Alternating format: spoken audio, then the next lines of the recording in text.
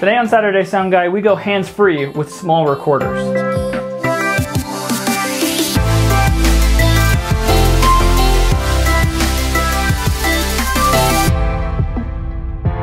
Hey sound guys and girls, I'm Jimmy Hepworth, your Saturday Sound Guy.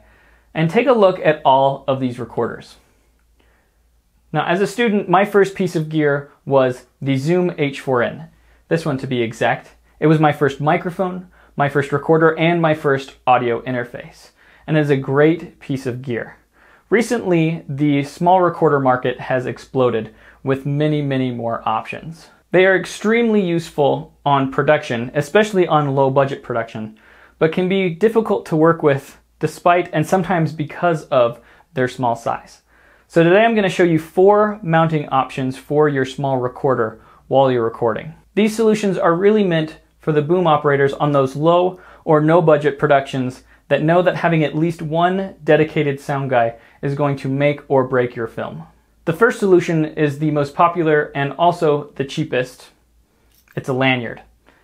Now, the H4n and many other recorders have a dedicated spot for wrist straps and lanyards and things like that. Simply put it on there and wrap it around your neck and you're able to go hands free. Now I should mention that the Zoom H4n has a rather small mounting hole that only takes lanyard clips that have a larger mouth. This can be easily fixed, however, with a string and a simple knot. The advantage here is obviously the cost. Go dig through the piles of old lanyards you have from trade shows and go hands-free with your recorder so you can keep both hands on the boom pole. The disadvantage of this solution is the viewing angle. It can be difficult to keep an eye on your levels while also keeping an eye on the shot. Also, having these jingly moving parts may introduce some noise into your recordings. The second option is a camcorder shoulder mount. Now I actually used this for an entire short film and it worked pretty well. This is a great option, especially for recorders like the Tascam DR60D, because you're able to see the screen, the shot, and your boom pole all at the same time. It's less effective for the small zoom recorders, but it's still really helpful for keeping things contained and out of the way. Now this unit cost about $17 and it is really cheaply made. In fact, the quarter 20 mount is way too long, making it really difficult to attach it tightly to pretty much anything. There are some other manufacturers that you might have better luck with, and I'll link some in the description. Another disadvantage is that it can be a lot to take off and put on when everything is all hooked together, making it difficult to take it off to take a break. This one is really cool. This is a custom made 3D printed belt holster for a tripod head. This was made by my friend and coworker Carlos.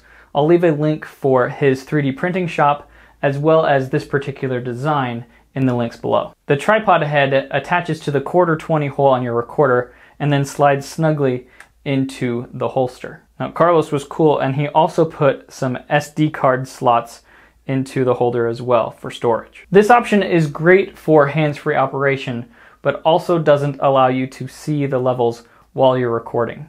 It can also be a pain to change the batteries because the tripod head is mounted to the quarter 20 slot. Our last option is this simple clamping system often used to hold your external monitor for your camera. With this clamp, I can attach my recorder straight to the boom pole. This gives me a compact way to hold the recorder and the microphone and be able to check my levels easily. I found this clamp on Amazon and it has a surprisingly good build quality for just $16. It has a full metal construction and a very sturdy clamp. I don't believe that this clamp is going anywhere once it's tightened down.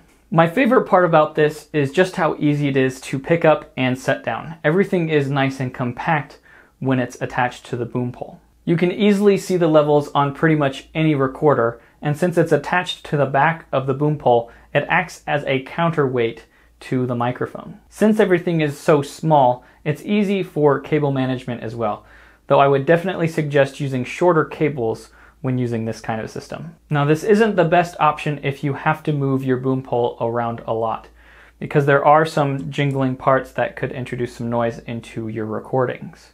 So there you have it. There are a handful of options for elevating your recordings in your next project.